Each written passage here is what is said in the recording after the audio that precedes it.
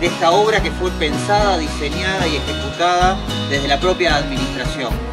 Que, que esto es parte de un proceso mucho más grande, de una intervención eh, mucho más importante en todo el Parque Rodó.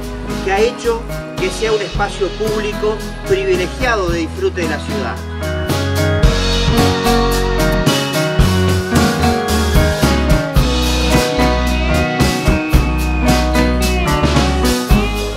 Así que indudablemente esto es un ganar-ganar.